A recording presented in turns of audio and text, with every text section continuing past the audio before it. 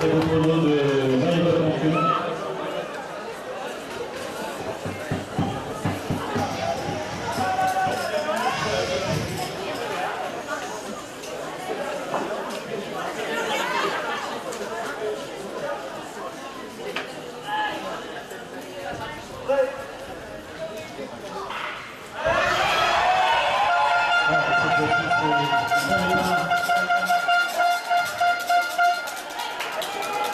notamment Pierre Renaud,